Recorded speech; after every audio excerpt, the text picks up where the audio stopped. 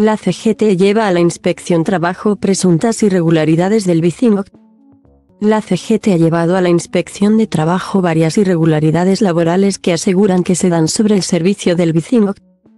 En un comunicado, el sindicato ha asegurado que este no funciona bien y que tanto el Ayuntamiento de Barcelona como la UT Pedaleamos Barcelona dan una imagen alejada de la realidad del mismo. Entre otros, ha apuntado a la carencia de bicicletas y ha puesto como ejemplo que en junio llegaron a estar disponibles solo 3. 000 de las 7, 000 que tendría que haber. El sindicato ha acusado a los responsables de dejar bicicletas no aptas a los anclajes de modo que no constan como averiadas.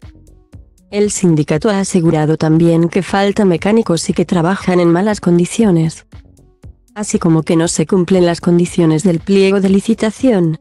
Cumplir las condiciones también ha criticado que los vehículos para transportar bicicletas no son los adecuados y que se hace trabajar a los mecánicos en otras ciudades donde la empresa concesionaria presta servicio.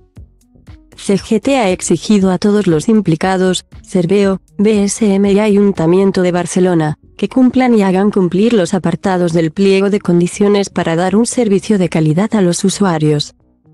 También que se respeten los derechos de los trabajadores y se ponga fin a los abusos que se están cometiendo.